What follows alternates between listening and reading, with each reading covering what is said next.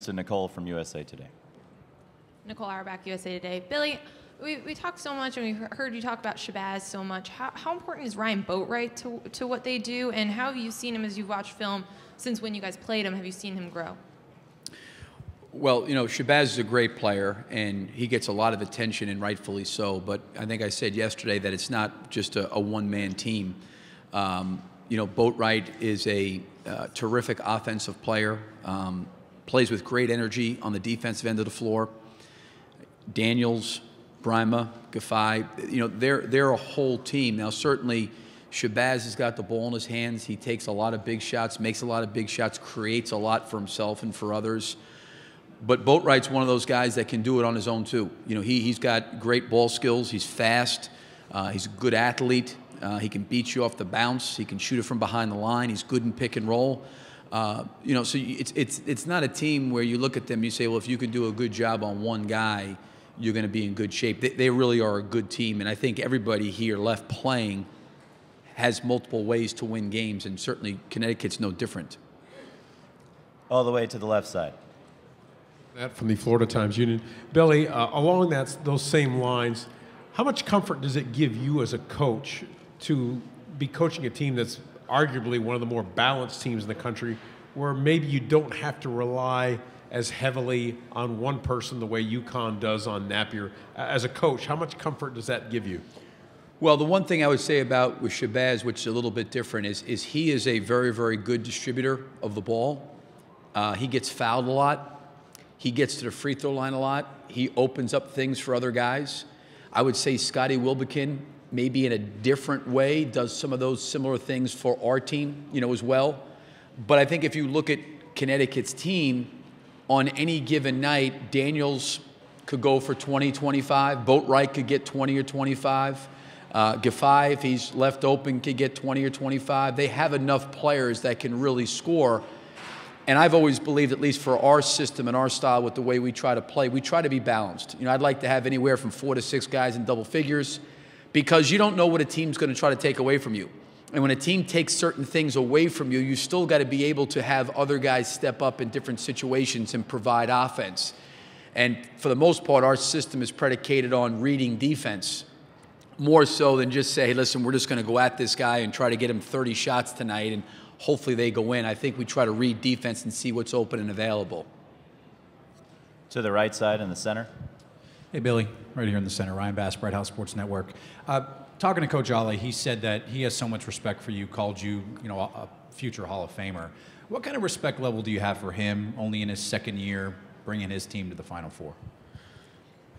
You know, obviously being a Big East guy and being a little bit older than Kevin, but following the Big East and his career, knowing some people uh, in the NBA that the way they've talked about his leadership quality, uh, I think it's always a challenge and difficult when you take over for a great coach like Jim Calhoun, but I think Kevin has done it in such a class way.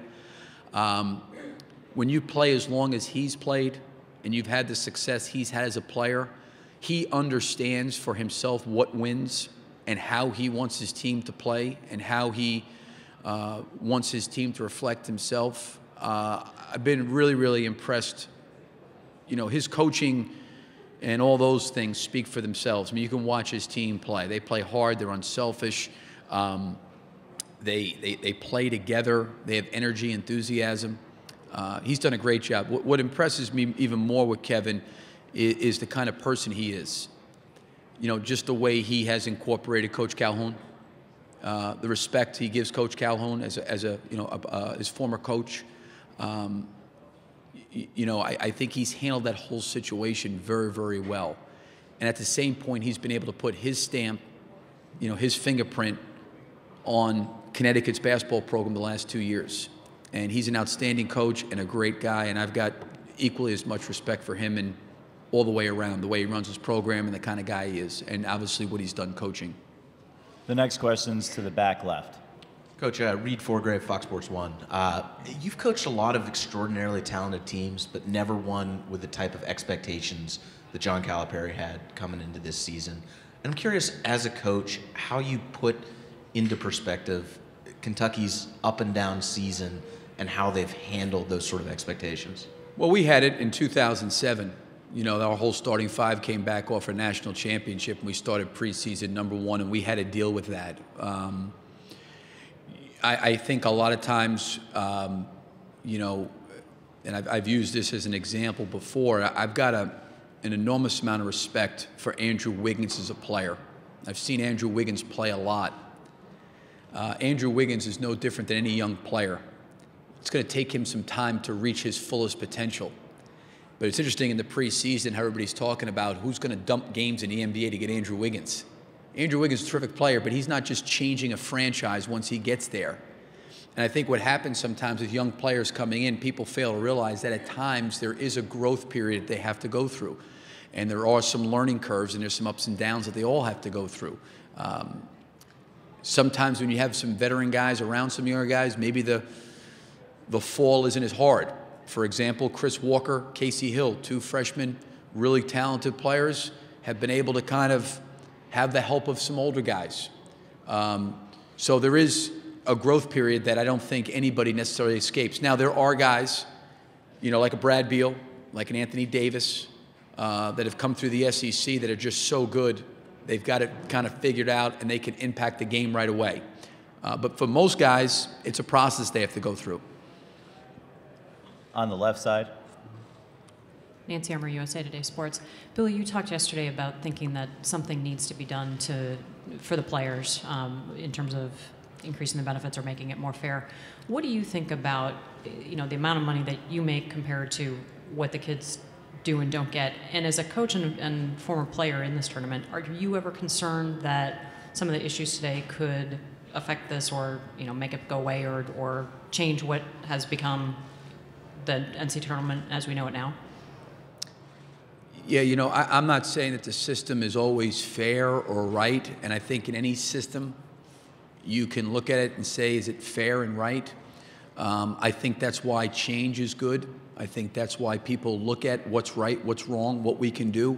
Um, I, this is what I think has happened from an evolution from when I played.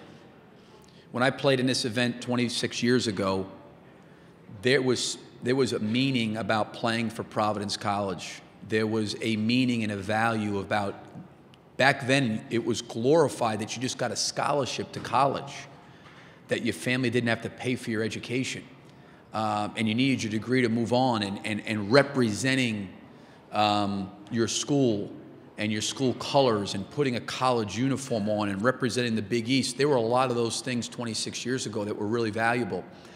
I think what's happened now is because of the opportunity to earn money in the game of basketball those opportunities are far greater than they were 26 years ago. And a lot of kids now look at this as I've got a earning window to make money playing this game. And really, in a lot of ways, I have a lifetime to get my degree. And I can never earn as much money with my degree coming out of college that I could if I took an overseas job. Forget the NBA. I mean, we've had guys that have been in Florida that have, you know, have been well over six figures as it relates to um, you know contracts, and that's not even in the NBA. Um, so there's an opportunity. They say, "Listen, my body, my talent, all those kind of things." So I think when you talk about all those things there, um, we have set up a system in our country that we've brought academics and athletics together as an avenue for a player to get to where he wants to get to. And I understand the D League has been formed, and people say, well, you can go to the D League, but really, in essence, the way the system is set up, it's set up that guys have got to go to school, they got to represent. That's, that's the best way, and right now, probably the most logical way for these guys to pursue a professional career. And I think you'll start to see probably down the road some things change. I don't know what the solutions are, I don't know what the answers are, but I think there's certainly a lot more can be done for the student athletes. On the right side of the aisle. Yeah, hi. Uh, Barry Horn, Dallas Morning News. Uh, in the age of one and done, you have a team with, uh, you have four four and dones in, in your lineup. Does, is that by design or by coincidence? And uh, would you take a one, somebody who was projected to be one and done? You know, I get asked this a lot. Um, I cannot, as a coach, forecast a player's future. For instance, after Joakim Noah's freshman year, I would have said there is no way in the world that this guy is going to be a first round draft pick after his sophomore year and he would have been the number one player taken in the draft. I would have said the same thing after Marreese Speights' freshman year that there's no way this guy is going to be able to leave after his sophomore year, first round draft pick. As a coach, you never know. Now, there's certain guys you do know when you recruit them. I knew Brad Beal was probably going to be a guy a couple years ago that was going to be here shortly. Patric Young had an opportunity for three straight years to leave. He probably would have gone in the first round after his freshman year. He decided to come back. So, some players you just don't know. It's not necessarily by recruiting design where I look at a high school kid and say, okay, great, let's recruit this guy because he's going to be here for four years. Um, I thought Nick Calathes would be a guy that would stay on our campus for three or four years, and he took an overseas job after his sophomore year. You don't know as a coach. You know, these guys make decisions, um, and a lot of times you don't know how fast they develop, or you don't know what kind of opportun- opportunities are put in front of them to make those kind of choices.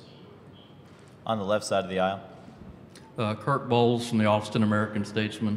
I had a two-part question, Billy. One, uh, Rob Lanier described you as a serial question asker, and uh, especially as it pertained to scouting reports on opponents. I wonder if you could explain that first. Yeah, I, um, I think the best way for me um, is to learn is to, is to try to be a good question asker. I think there's a lot of value in being able to do that. Um, I think being able to open up opportunities inside your staff for guys to talk freely.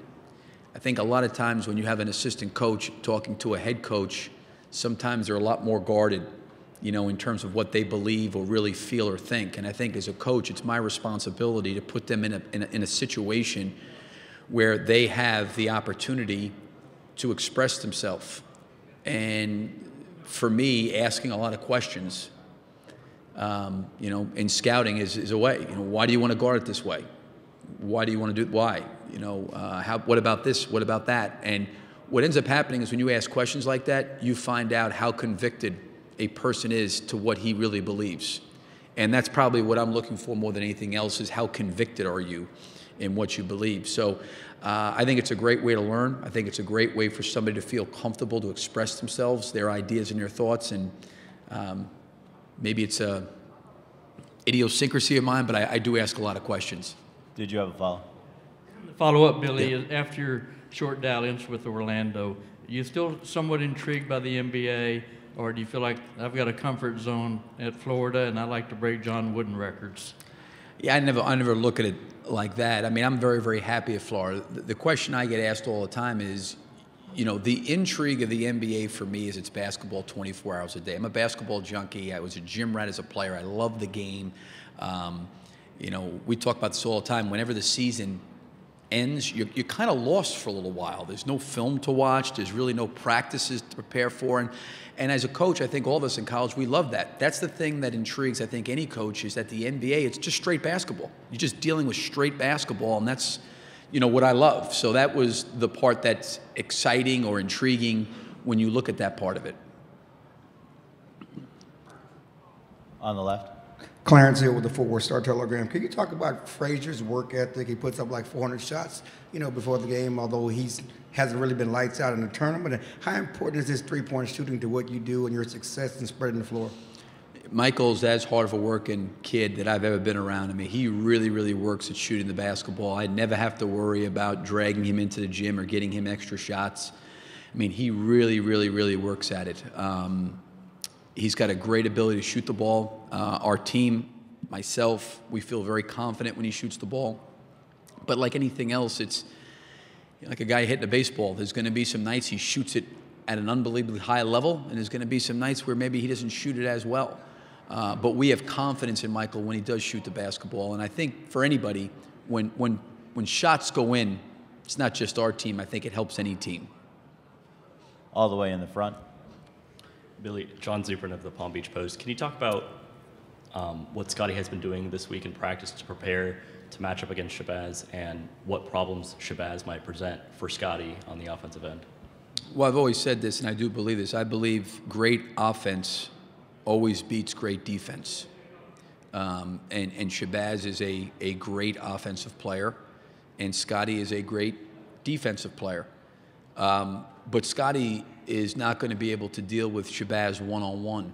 You know, we've we, we've been a team that's played collectively as a group on the defensive end of the floor, and Scotty's going to need help because Kevin puts Shabazz in a lot of situations that he's coming off screens, he's in pick and rolls with the floor spread, and you know to put Scotty on an island and expect him all by himself to handle him um, Shabazz is just too gifted offensively, so it's got to be a group effort for everybody. Not only him, it's got to be a group effort against DeAndre Daniels and against Boatright, against Giffey, you know, just their entire team. It's got it's got to be a group effort. It can't be Scotty versus Shabazz and Michael Frazier versus Boatright and will you get ver- that's not who we've been and that's not how we've played this year. On the right side of the aisle. Billy Tom Corin from ABC in Tampa. Could you talk about the, the, the correlations between the two programs and, and the fact that uh, UConn has been to the uh, uh, Final Four, three to last five. You've won a couple. You know, you banging on the Elite Eight. Talk about that and, and the significance of these two programs going up in this semifinal. Well, I know for us to, to, to make deep runs in the um, in the NCAA tournament is really really hard. Um, and I know a lot of people looked at the last three years and said, you know, geez, I haven't been able to get to the Final Four. And I imagine if we've been to the Final Four the last three years, they're saying, geez, they just couldn't get to the national championship game. It never ends. But if you really take a step back and realize how hard that is for what our team has done, going to four straight Elite Eights, I don't know how many schools in the country have done that. Certainly, we're disappointed when it ends. We're no different than anybody else. We'd like to continue on and play all the way through to Monday. But what our guys have done in terms of establishing a level of consistency, because you could be better from one year to the next and be ousted at a tournament being a better team. It's a one shot game. Anything can happen. And that's why I think people are so uh, captivated by watching the tournament. So I think UConn's kind of done the same thing in a lot of ways. You know, when Jim Calhoun was there, I was playing at Providence and actually played against his team when he was the head coach at Northeastern. And he took that program and built it up. And he got to several Elite Eights and they had a hard time, and then they had a breakthrough and they got to the Final Four and they've won several national championships. And Kevin has just picked up and continued on that tradition. In the back to the left. Yeah, Billy, Ron Higgins, NOLA.com, Times-Picayune. Going back to your seniors, is there a certain pride that this team, I mean, the old fashioned way, stuck together, you know, nobody left, they, they all realized they had work to do every year. Is there a certain pride about watching a, t- uh, a team grow like this? You know, Ron, I, I'm I'm um, happier or prouder. They've learned some valuable lessons on the court, no question, being here for four years at Florida. But the thing I'm much, much more pleased with is they've got a lot of experiences that were very difficult, very challenging, that I think is going to take them to the next step in their life, that they're going to be able to handle life's adversity a lot better because it wasn't always easy for them. And I give them credit for being persistent, for staying the course, uh, for dealing with their personal struggles and challenges, to try to overcome them, to battle them, to deal with them, to deal with them head on. Um, I think a lot of times as players, when you're heavily recruited and things are not going well, it's easy to deflect. It's not my fault, it's someone else's fault. This has never happened to me. And the fact that they looked themselves in the mirror and said, here's an area I need to change, here's where I need to get better uh, I think if they can keep that approach once they leave here, I think they're going to be so much better off. So, yes, it's very rewarding to see those guys stick with it and obviously have success that's translated onto the court as well. On the right side? Kozlov, Noah Kozlov, Cinesport. Coach, sometimes recruits just don't work out. So, how do you know when you found your guy, when he's in your program, that you know this is a guy that, that can be here and, and can buy in? Within the first three weeks. Um, I, I can tell now he may not be talent wise where we want him and he needs to get better, but attitude wise, I know within the first three weeks whether or not this is going to work or not. First month. Because practice starts and everybody's excited, okay? Then when the excitement of practice wears off, they're dealing with fatigue, they're having to push through. It's the first time they've played against high level competition on a regular basis. Their work ethic gets exposed who they are gets exposed, their attitude gets exposed. And then when you start handing out minutes and maybe they're not playing as much as they want to or hope for, you start to see some things there. Uh, and I'm not saying that guys don't change, but you can tell attitude wise, okay, this is going to be a problem. This is going to need to be addressed. Then there's some other guys you know, like, wow, this this kid really has got a chance to be really now he may not be where he's at talent wise. May- will help him get better with his skill set and those things. But a lot of times you can tell right away how a player handles adversity, how they handle coaching, how they handle practice, fatigue, being worn down, competition. I tell our guys this all the time there's three things that don't get freshmen on the floor. One, they don't compete hard enough. They don't, they don't understand how hard they have to play. Two, they're not physically competitive enough to put their bodies in place. And three is they have no idea what we're doing. They're just lost. It's, it's happening too fast. If you're missing any one of those three things for us, it's really hard to get on the floor and, and play a lot of minutes. Now, that's not to say that those things could not get better, but those things getting better are totally predicated on what is the player's disposition and attitude towards addressing those things. And I think for our older guys, as Ron talked about, those guys had to address those things and they got better at them. We'd like to welcome to the interview room at this time student athletes from Florida Scotty Wilbekin, Casey Prather, Patric Young, Will.